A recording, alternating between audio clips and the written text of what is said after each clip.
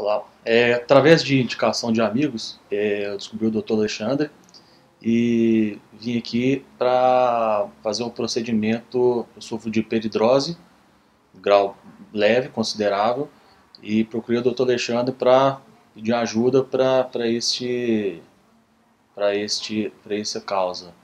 É, fiz com ele há uns 15 dias atrás, 20 dias atrás, o procedimento da, de, de toxina, é, Botox, e o resultado foi bastante significante.